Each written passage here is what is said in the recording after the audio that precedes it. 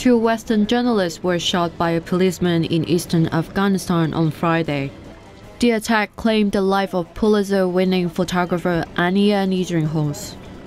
AP journalists Anja Niedringhaus and Kathy Gannon were traveling with a convoy of election workers delivering ballots to the outskirts in Tani district.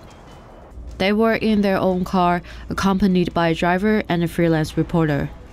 The convoy was protected by Afghan police, soldiers, and agents from the National Directorate of Security. After the convoy arrived at a heavily guarded government compound in Tani, a policeman approached the journalist's car. He yelled, God is great in Arabic and fired multiple shots at the back seat. The shooter then surrendered himself. Niedringhaus was killed instantly and Gannon was wounded. She is presently in a stable condition. No group has claimed responsibility, but the Taliban alleged that they have infiltrated into Afghan security forces.